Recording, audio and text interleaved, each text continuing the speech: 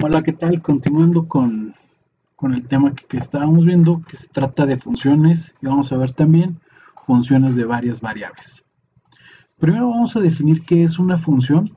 Esto de qué es una función, de manera general vamos a decir que se trata de una correlación que se establece entre dos conjuntos. En este caso nuestros conjuntos va a ser el conjunto de las x y el conjunto de las y. Es decir, el conjunto de las ordenadas y el conjunto de las abscisas. A través de la cual cada elemento del primer conjunto se le asigna un único elemento del segundo conjunto e incluso puede ser que ninguno.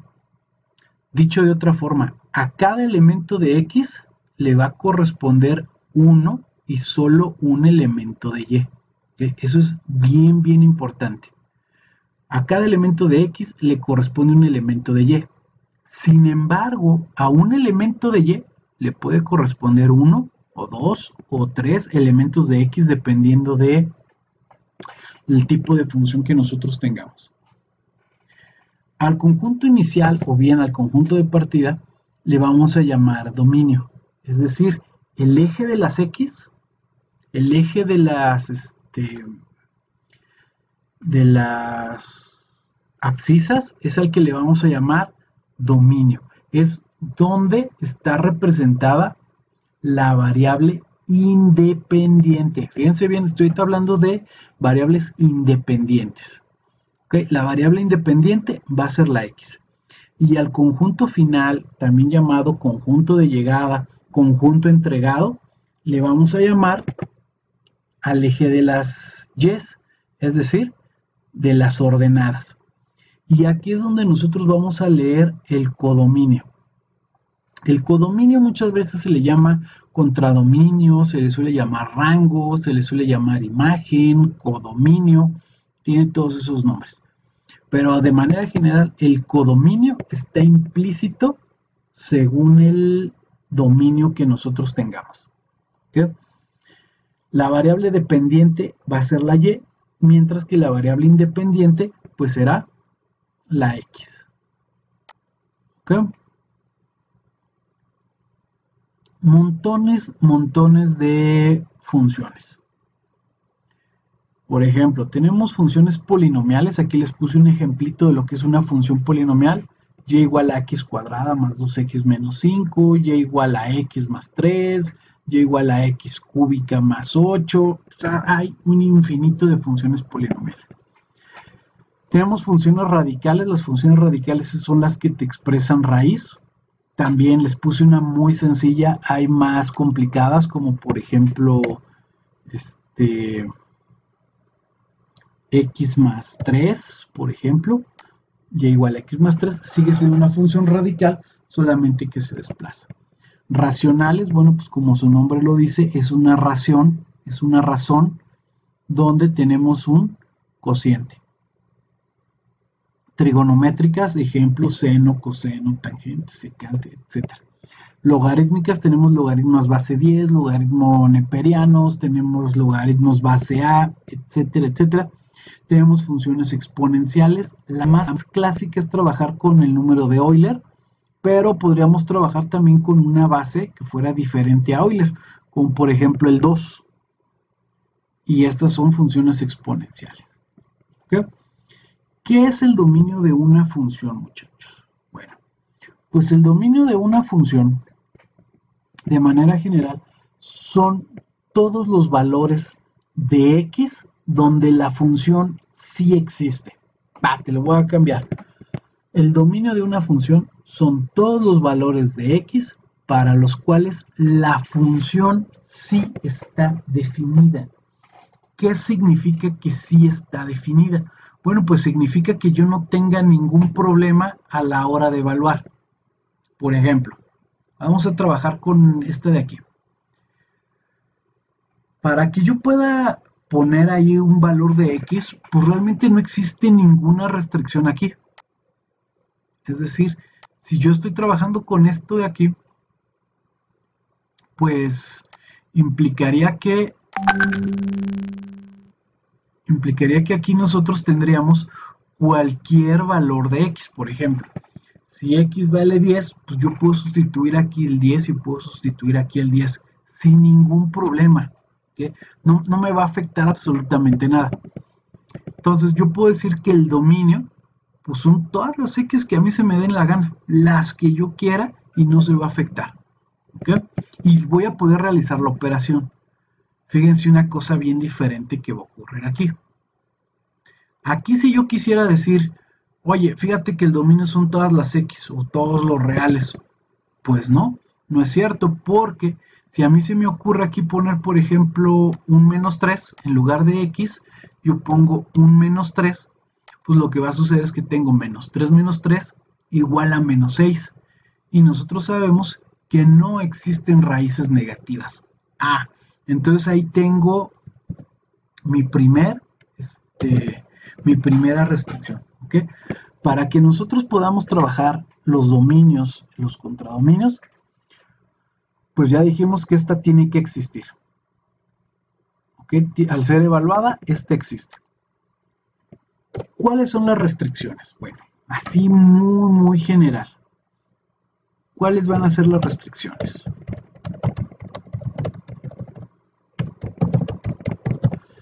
Insisto, lo estoy poniendo muy general, porque hay más, ¿no? Pero las más generales son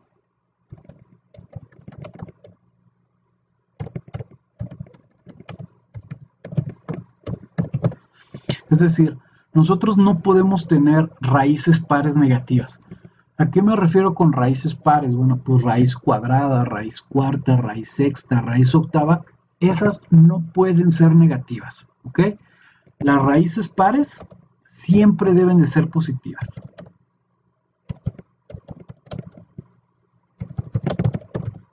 Siempre mis raíces pares siempre deben de ser positivas.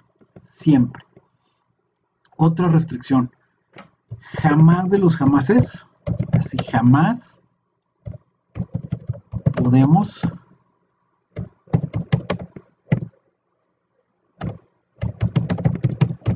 por cero. Nunca vamos a poder dividir por cero. ¿ok? Me voy a regresar un poquito a la función racional.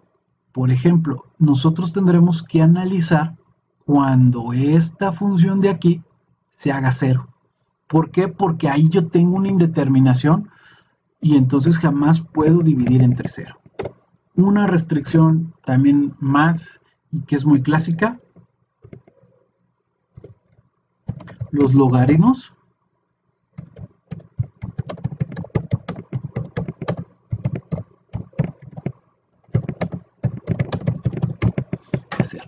todos mis logaritmos deben de trabajar mayor que cero. Estas tres son como las pautas para que nosotros podamos definir nuestros dominios. Hay más restricciones, pero estas tres son como las más, más clásicas. Los logaritmos siempre deben de ser mayores que cero. Y entonces vamos a tener que investigar precisamente qué sucede con los argumentos de los logaritmos. Por ejemplo, si yo tuviera el logaritmo de esta cosa, Voy a traer esta función para acá. Tengo esta función.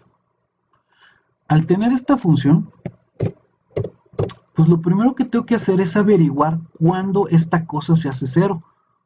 ¿Por qué? Porque yo necesito que esto sea mayor que cero.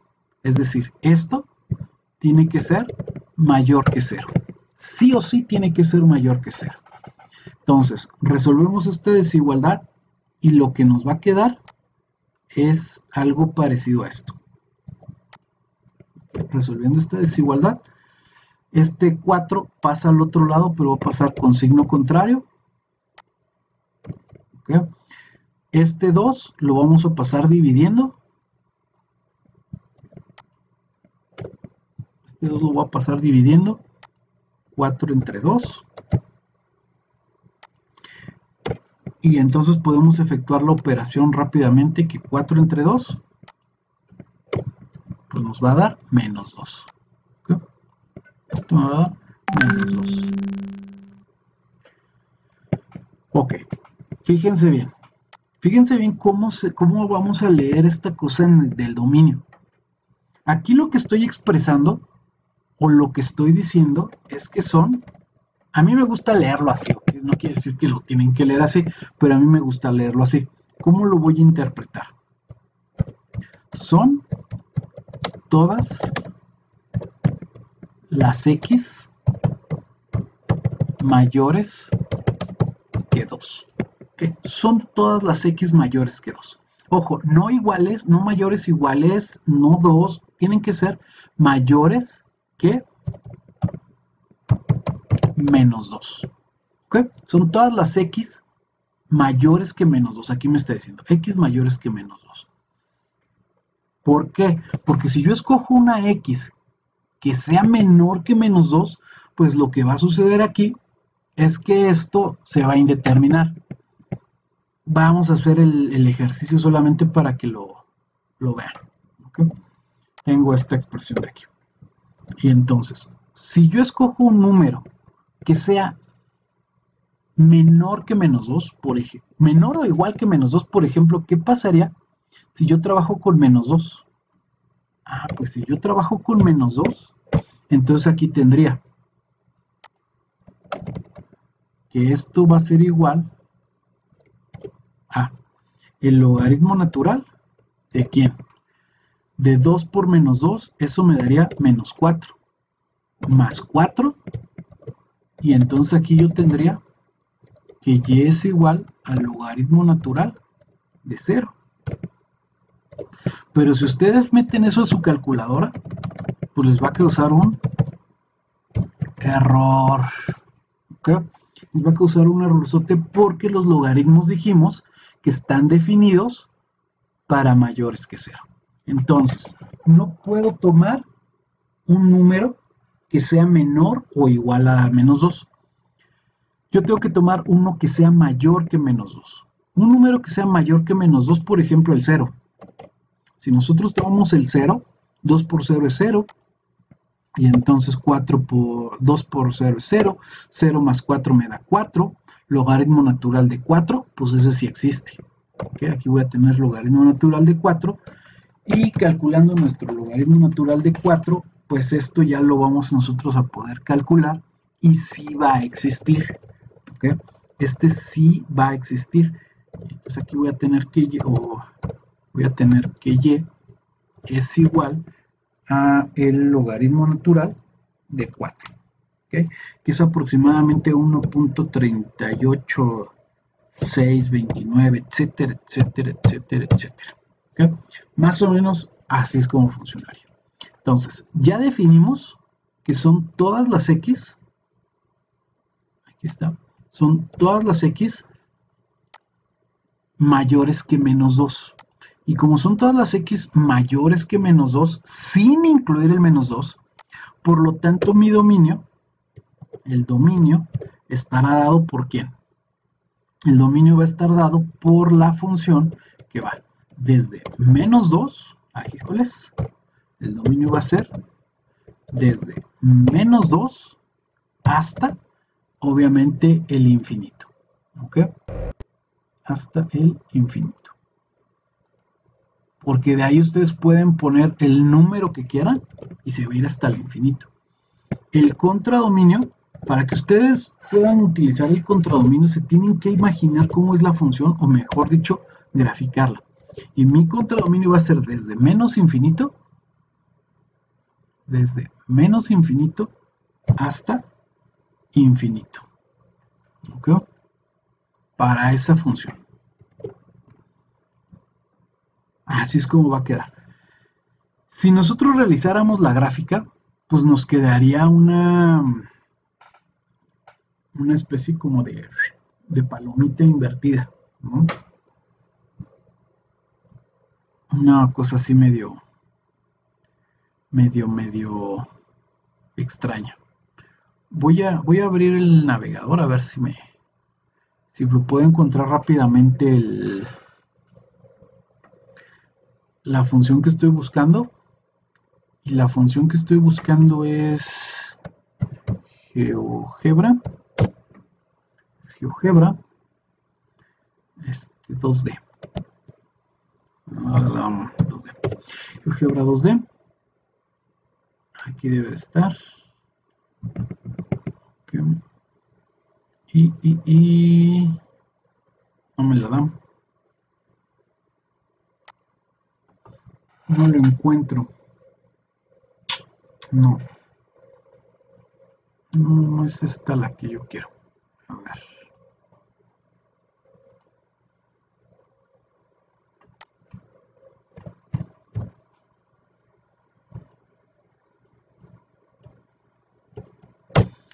Según yo ya la tenía así como bien, bien medida. Aunque creo que sí es aquí. Ah, caray. Aquí es, es el calculador. Aquí mérito. Ok, aquí voy a poner mi función. La función que estábamos trabajando era logaritmo natural de 2x más 4. Aquí va a ser y igual al logaritmo natural de 2x más 4. ¿ok? Si, yo, si nosotros la graficamos, pues nos va a quedar algo parecido a esto, que les decía, como una palomita invertida. La voy a hacer más chiquita para que la alcancen a, a visualizar. Pero más que la alcancen a visualizar, lo que quiero que vean es que no existe la función, la función no está definida para números menores que menos 2. Aquí sí hace asintótica. Es decir, tenemos una asíntota vertical en, en 2. Una cosa así. empieza a ser asintótica. me voy a regresar para acá. Y aquí. Ahí tenemos nuestra gráfica de esa función. Y de hecho esto sigue bajando y sigue bajando y sigue bajando hasta dónde? Pues hasta menos infinito. Esto se va hasta menos infinito. Y luego sube. Y si yo la sigo prolongando, pues también va a seguir subiendo un poquito y se va a ir hasta infinito. Por eso mi contradominio va desde menos infinito hasta infinito. Y el dominio va desde menos 2 hasta el infinito. De esa manera nosotros podemos calcular el dominio y el contradominio de cada una de las funciones que les voy a dejar para que ustedes trabajen. Aquí les había puesto un ejemplo que es el ejemplo que resolvimos en, en clase, donde dábamos la función x cuadrada más 5x menos 8 y nos pedían que determináramos el dominio y el contradominio. Bueno, pues en este caso yo hice primerito, primerito la gráfica y entonces tenemos esta gráfica aquí. Si se fijan el dominio, pues si esto yo lo sigo escalando, pues se va a ir hasta el menos infinito y se va a ir hasta el infinito en el eje de las X. Pero en el eje de las Y llega un punto en el que ya no baja. Aquí ya no baja. Y entonces como ya no baja, pues mi contradominio va a ser desde este puntico hasta el infinito. Entonces, el dominio ya dijimos va desde menos infinito hasta infinito. La parábola se sigue abriendo y se sigue abriendo y se sigue abriendo hacia los dos lados. Y el contradominio es desde menos 14.25, que sería este punto de aquí. Se estarán preguntando cómo encontré el valor del vértice. Bueno, pues el valor del vértice nosotros lo encontramos primero definiendo cuánto vale la x del vértice. Si yo defino cuánto vale la x del vértice, pues lo puedo utilizar con la fórmula casi general, que es menos b más menos raíz cuadrada de b cuadrada menos 4ac sobre 2 veces a. Si yo quiero el valor del vértice, pues fíjense que es bien, bien facilito encontrar ese, ese valor del vértice. Y es bien facilito. Porque lo único que necesito es, aquí este le voy a cambiar, es que voy a modificar esta, esta formulita y voy a desaparecer todo esto. Todo esto lo voy a desaparecer y entonces la coordenada x del vértice es menos b sobre 2a. Para esta función que tenemos aquí, nosotros tendríamos menos lo que vale b, que sería 5. Menos 5 sobre 2 veces lo que vale A. que es 1. Ese es mi, mi valor del vértice. Y entonces esto va a ser menos 5 medios. aproximadamente igual a menos 2.5. Si nosotros vemos en nuestra gráfica, pues efectivamente más o menos es menos 2.5.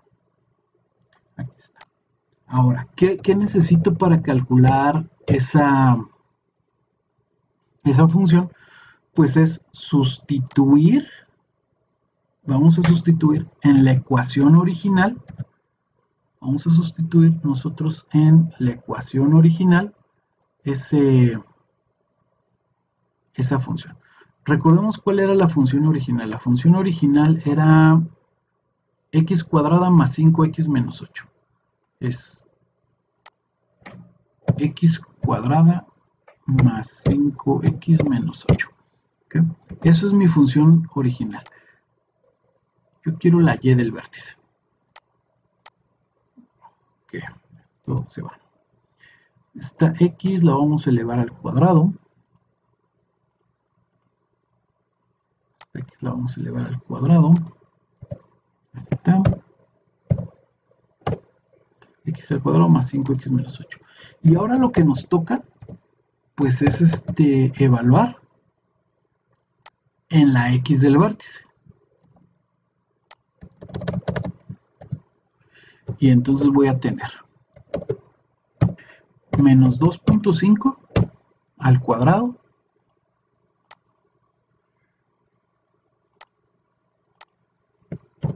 al cuadrado y esto de aquí adentro es menos 2.5 que menos 2.5 al cuadrado.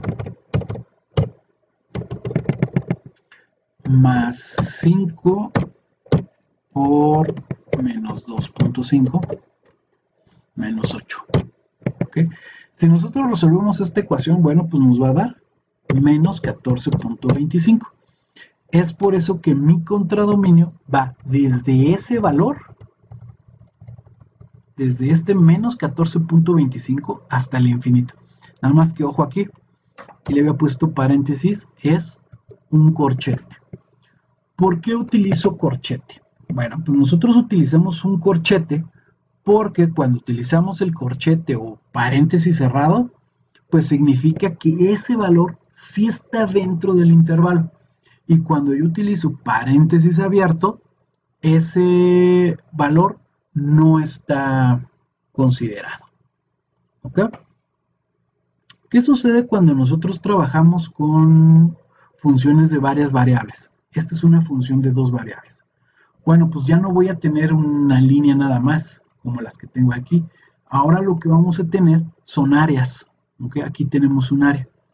Y entonces el dominio para una función de varias variables va a ser todos los puntos coordenados que estén dentro de esa área. De tal forma que el dominio para una función de varias variables va a ser, o lo vamos a leer de esta manera. Fíjense bien. El dominio para esta función son todas las parejas ordenadas x, y que pertenecen a esta función.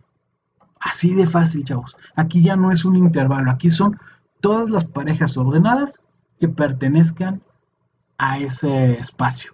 Si fuera una función de tres variables, pues sería todas las, las coordenadas triples x, y, z que pertenezcan a ese volumen. Y de esa manera nosotros podemos encontrar el volumen de esas funciones. Por ejemplo, tengo f de x, y, z, que es igual a 2x menos 3y más 5z cúbica y cuadrada, y por lo tanto su dominio estará dado por todas las parejas de x, y, z ordenadas que pertenezcan a ese volumen. Muy bien muchachones, pues como les dije, aquí les dejo unos ejercicios para que ustedes practiquen. Nos estamos viendo pronto. Chao, chao.